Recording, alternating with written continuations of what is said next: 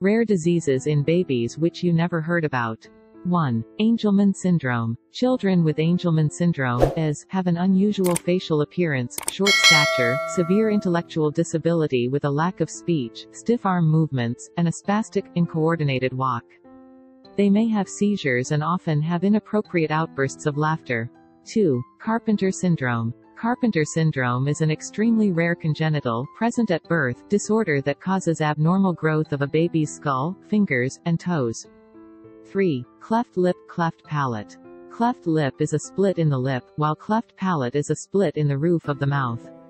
Cleft lip and palate happen when there is a problem during fetal development.